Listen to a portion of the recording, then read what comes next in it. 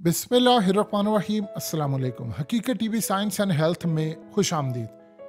आप इमेजिन कीजिए कि इस वक्त पाकिस्तान की टीम को कहा गया है कि आप इस 20 साल बच्चे से बच जाएँ तो आप फाइनल में जा सकते हैं। यानी इस वक्त पूरी पाकिस्तान की टीम अगर किसी की सही मायनों में तैयारी कर रही है तो वेला लागा की कर रही है। ये दुनीत वेला लागा जिसने इंडिया के कल पाँच खिलाड़ियों को आउट किया है। और जिस तरह उन्होंने पाँच खिलाड़ियों को आउट किया है, ये तो खैर एक अलग दास्तान है कि जिस तरह वो आउट होते रहे, अचानक अस्सी रन पर स्कोर बना और उसके बाद सारे आउट होते रहे। लेकिन सूरत हाल यहाँ पर बड़ी अजीबो गरीब है कि उन्होंने गिल को आउट किया, कोहली को आउट किया, रोहित शर्मा को आउट किया, फिर उसके बाद उन्होंने पांड्या को आउट किया और के राहुल का जो कैच था वो तो अलग ही था। अब सीन ये है कि पाकिस्तान की टीम इस वक्त वीडियोस देख रही है। असल में ये जो 20 साल लड़का है आईपीएल के अंदर इसको किसी ने चांस नहीं दिया। इंडियंस ने कहा कि इसका लेवल नहीं है कि हम इसको आईपीएल खिला सके। अंदाज़ा करें अनसोल्ड रहा ये, बीस साल लड़का अनसोल्ड इसको किसी ने नहीं खरीदा। वो कह रहे हैं, इसका कोई लेवल नहीं है। इस वक्त तकरीबन ये तेरह मैचों में अठारह विकेटें ले चुके हैं और नौ विकेटें सिर्फ़ खाली अगर हम देखें तो उन्होंने एशिया कप में ली है। अब सूरत हाल कुछ ये सामने आई है कि इस वक्त पाकिस्तान की टीम मुकम्मल तौर पर वीडियोस देख रहे हैं। वो इनके तकरीबन सारे दस ओवर्स देख रहे हैं कि हमने कैसे मैनेज करना है प्लेयर्स को कैसे मैनेज करना है। क्योंकि हालिया जो कुलदीप ने किया है, पाकिस्तान के साथ जिस तरह उनके स्पिन बॉलिंग डिपार्टमेंट ने सत्यानाश किया है, विकटें तो वही है ना सारी। वही जगह, वही चीज़ें हैं। तो इस सारी सूरत हाल में अब पाकिस्तान को श्रीलंका को हराना अब पाकिस्तान के लिए तो मामला इस वक्त सामने ये आया है कि सबसे पहले वेला लागा असल में उन्होंने काम ये किया है कि एक तरफ़ तो इंडिया के साथ मैच था, वो अकेले, यानी 20 साल जो लड़का है, वो अकेला लगा भी रहा, खेलता भी रहा स्टैंड भी करता रहा और इस सूरत हाल के अंदर वो टीम को बचा नहीं पाया। अब सबसे बड़ी जो बात ये है पाकिस्तानियों के लिए, वो इंडिया के साथ जो मैच हो उसमें श्रीलंका के असलंका और ये पार्ट टाइम बॉलर और ये अब वो देख रहे हैं कि अगर हम इनसे बच जाते हैं तो ही हम फाइनल में जा सकते हैं। अभी देखिए फाइनल में जाने के लिए आपके पास इस वक्त नसीम शाह भी शायद अवेलेबल ना हो। अब ये सबसे बड़ा कंसर्न है, उनकी जगह जमान खान आ गए हैं। अगर इस सारी सूरत हाल के अंदर ऐसा कोई मामला होता है तो हम उस बात का अंदाज़ा लगा सकते हैं कि पाकिस्तान के लिए कितनी तकलीफ़ दे बात है, क्योंकि शोल्डर में उनकी इंजरी हुई है। अब ये जो असल में बीस साल लड़का है, ख़ास तौर पर इनकी जो बॉलिंग है उसमें ये कहा जा रहा है कि अगर विराट कोहली को, के राहुल को, गिल को, रोहित शर्मा को ये पूरी तरह आउट कर सकते हैं तो बाकी पाकिस्तान के प्लेयर्स तो इनके सामने कोई टिकने का नाम ही नहीं लेगा। वकार यूनस हो या पाकिस्तान के तमाम जितने बड़े स्टार्स हो, उन्होंने कहा है कि मुस्तकबिल के ये असल में स्टार हैं। और अगर आपको इस शख्स को बीट करना है कल तो सबसे पहले आप ये काम कीजिए कि आप जितने भी ओवर्स खेलें इनकी बॉलिंग के ऊपर अगर आप 10 ओवर्स में कोई 20-25 रन बना ले 30 भी बना ले तो इतना काफ़ी आपको ज़्यादा करने की ज़रूरत है, लेकिन आपने इनको विकेट नहीं देनी। क्योंकि आप एक दफ़ा इनको विकेट देंगे, पर उसके बाद वो प्रेशर बिल्डअप होगा। और देखिए, सबसे ज़्यादा एक चीज़ बड़ी अजीबो गरीब है। जो श्रीलंका की, आपने देखा, बाबर ने इस तरह बहुत सारे मसाइल पैदा किए। एग्रेसिव कप्तानी नहीं यानी अगर नसीम शाह बॉलिंग कर रहा है तो वो साथ स्लिप नहीं ले रहे अटैकिंग नहीं कर रहे, चाहे स्कोर पड़ा है स्पिनर कोई बॉलिंग कर रहा है तो आप भी काम नहीं करे। देखिए, शादाब का जहाँ तक मामला है, शादाब इस पूरी सीरीज़ में बुरी तरह नाकाम हुए, बुरी तरह फेल हुए हैं और सबसे ज़्यादा जो गंदी बॉलिंग उनकी हो रही है, उसमें उन्हें वेला लगा से भी सीखना चाहिए। कि वो बॉलिंग कर रहे हैं तजर्बा उनको वो ज़्यादातर उनकी फुल टॉस आ रही है, ये फुल गेंद आ रही है, उसमें चौके छक्के उनको पढ़ने हैं। अब जो रोहित शर्मा की उन्होंने विकेट ली है, जिस तरह वो भी ऑलमोस्ट फुल थी, वो उनको शॉट पूरी नहीं लगी और वो आउट हो गए। तो शादाब ने इतनी गंदी बॉलिंग की है इस पूरे टूर्नामेंट में, जहाँ पर स्पिनर्स उनके आप देखिए श्रीलंका पार्ट टाइम बॉलर थे वो, और वो विकटें ले गए हैं, वो चार चार विकटें कोई ले रहा है, कोई पाँच ले रहा है। यहाँ पर सूरत हाल है कि शादाब बुरी तरह फेल है। हमारे पास जो पार्ट टाइम जो इफ्तार और बाकी बॉलर है, वो किसी काम के नहीं है। लेकिन जिस तरह शादाब खान फेल हुए हैं, ना उनकी कोई बॉलिंग है, ना उनमें कोई वर्थ है, पूरे टूर्नामेंट के अंदर जिस तरह पाकिस्तान की टीम फेल हुई है, उसका आप अंदाज़ा नहीं लगा सकते।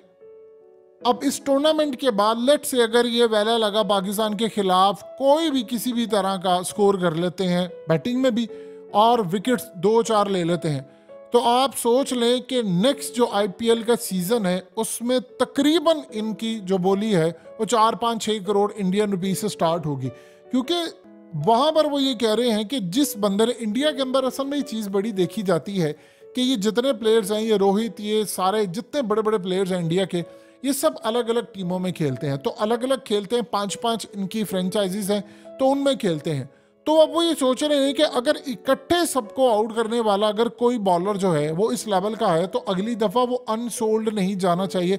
और अभी से उन्होंने प्लानिंग शुरू कर दी है कि हमने आईपीएल सीज़न के अंदर इनको खेलना पाकिस्तानी टीम को ये बात अभी तक समझ नहीं आ पा रही और ये बात थोड़ा समझिए। हम इंडिया की नस्बत इस प्लेयर को खेल चुके हैं।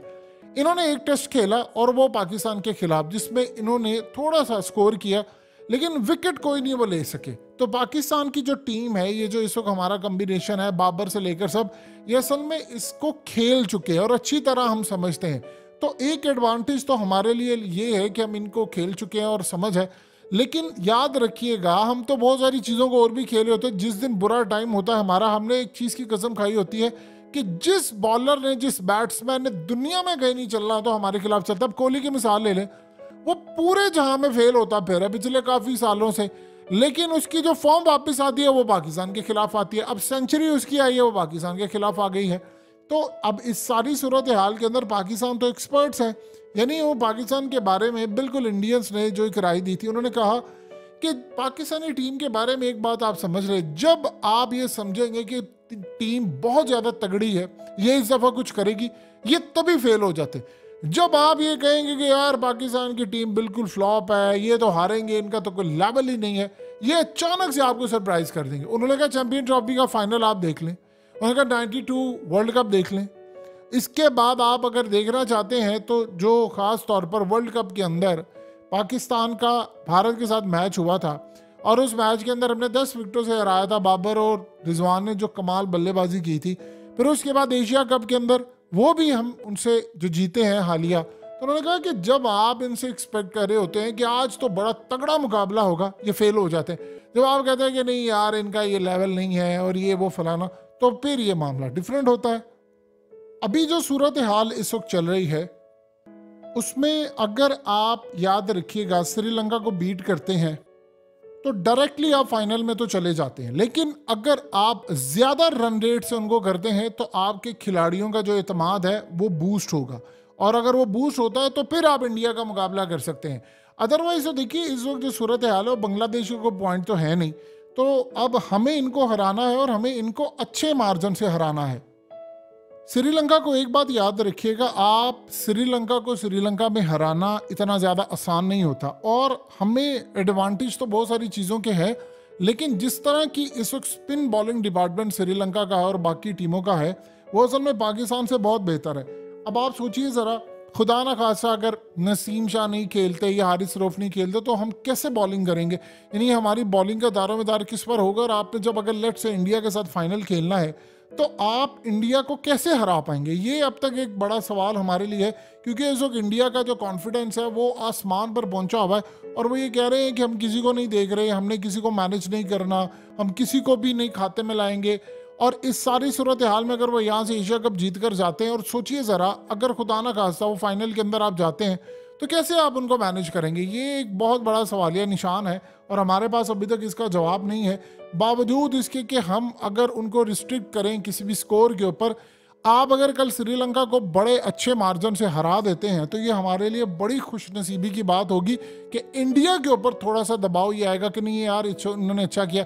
अगर श्रीलंका के मुकाबले में कोई और टीम होती पाकिस्तान के अलावा तो शायद इतना भारत को मसला नहीं होता, लेकिन उनको ये बात पता है कि इनकी आदत है टीम की कि एक दिन हारते हैं, बुरा हारेंगे, लेकिन जब बाउंस बैक करते हैं तो वो ऐसा बाउंस बैक कर देते हैं कि जिसका आपको अंदाज़ा नहीं होता।